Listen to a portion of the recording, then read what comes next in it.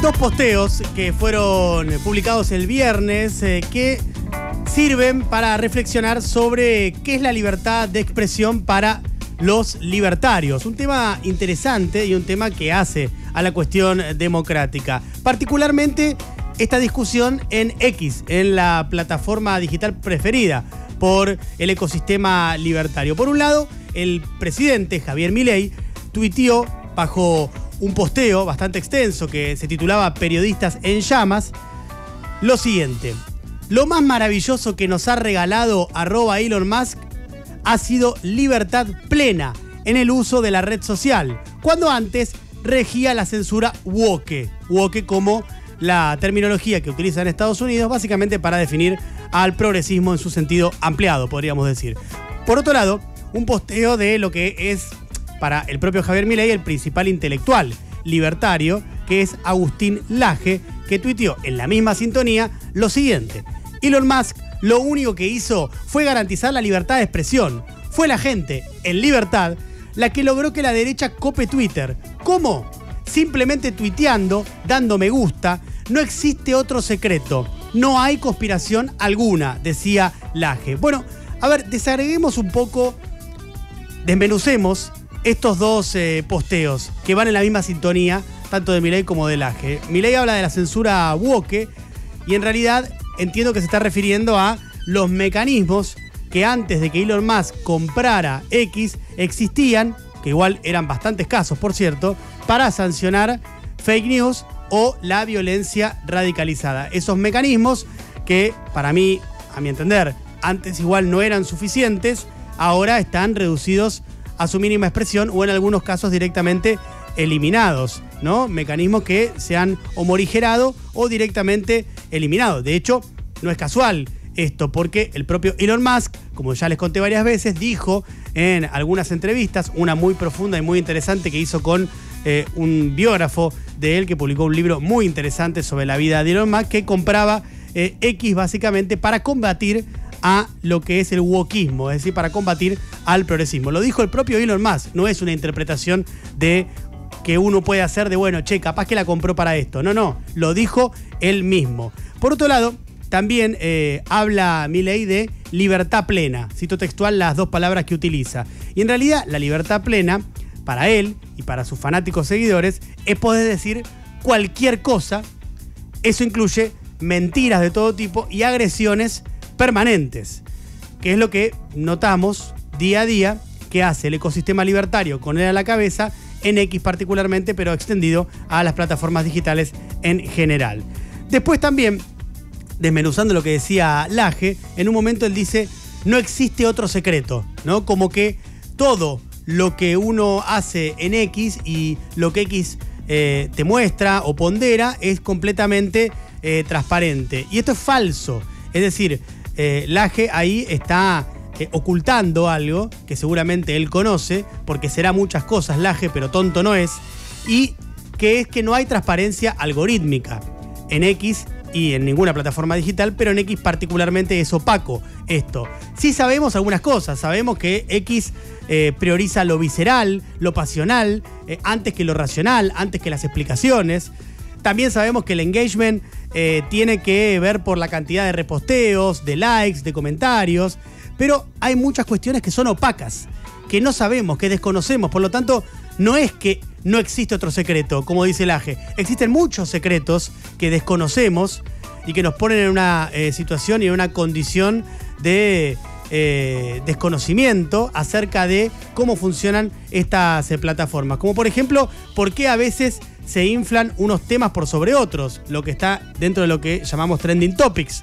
O también por qué se utiliza la práctica de shadow ban, que es que no te bloquean, pero te ocultan tus posteos o no los ve nadie o los ve muy poca gente, porque alguien tomó la decisión de alguna manera o el algoritmo tomó la decisión de utilizar este mecanismo que es el shadow ban. Traje estos dos ejemplos, hay muchos más, pero es para dejar bien en claro que es importante que haya transparencia algorítmica, que conozcamos los mecanismos a través de los cuales se ponderan algunas cosas y se ocultan otras, y no lo estamos teniendo. Ahora, Milei también posteó, y en el, mismo, en el mismo posteo decía lo siguiente, Para ellos, los periodistas, a ellos se refiere, la libertad es poder decir cualquier cosa sin validar y hasta mentir, calumniar, injuriar y ensuciar sin costo alguno y que si no pensás como ellos, te callan.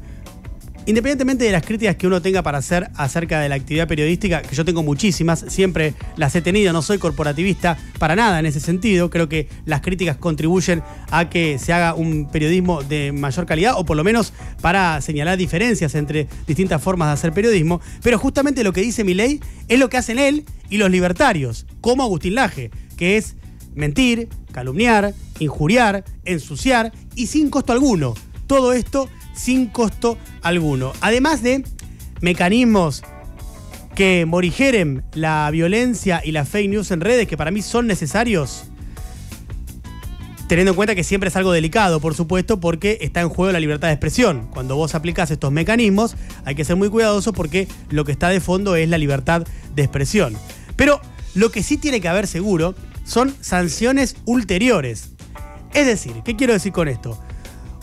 Supongamos que uno efectivamente puede decir cualquier cosa, pero tiene que haber consecuencias si uno dice cualquier cosa. ¿A qué me refiero? Si uno miente descaradamente o difama o atenta contra la convivencia democrática, debería haber sanciones. ¿Para qué?